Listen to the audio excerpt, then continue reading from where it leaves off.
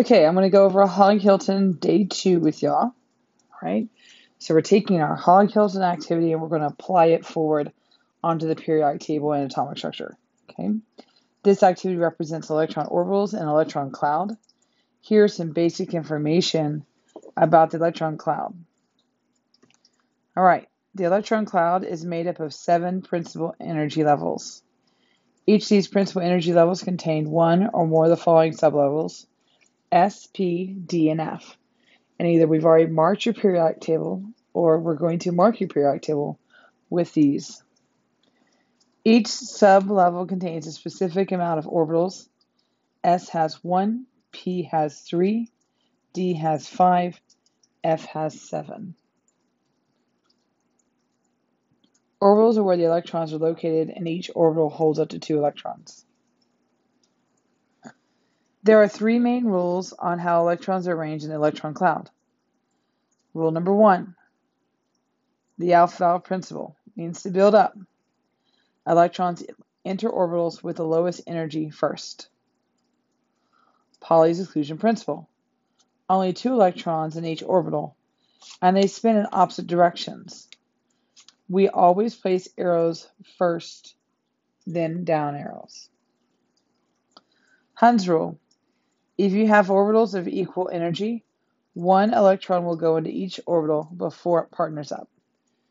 So hopefully you notice these rules are similar to what we already were working with with Hog Hilton. This is our hotel. Okay. And I'll point you down to this little image I have in here, right? We're going to be writing these out eventually. This is going to indicate our energy level, our sublevel, and the orbital. And so I'll show you how all this works. All right. So comparing this Hog Hilton, what are the two similarities and differences? We're still using arrows. We limit two per room, opposite directions, and start level one. The difference, one is a hog, the other is an electron. To go between floors on the Hog Hilton, did the hogs need to use up energy?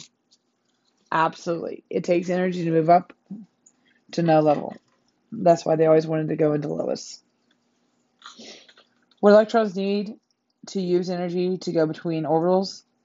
Absolutely. It takes energy to go between orbitals.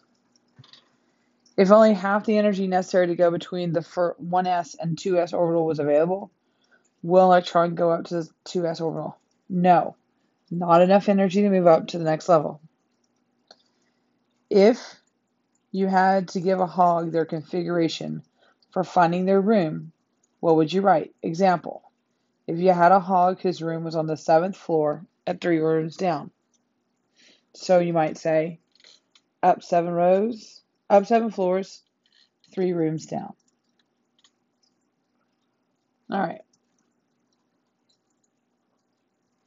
So this time, instead of saying I have hogs, I say that I have electrons. In this case, I have three electrons. And as we did before, oops, we put in one electron, second electron, third electron. Three arrows, just like you had three hogs. For seven, one, two, three, four, five, six, seven. 11 electrons one, two, three, four, five, six, seven, eight, nine, ten, eleven. I'm going to do one more. So on Thursday we have 15. One, two, three, four, five, six, seven, eight, nine, ten, eleven, twelve, thirteen, fourteen, fifteen. Okay, this should be enough examples. You have the rest to do,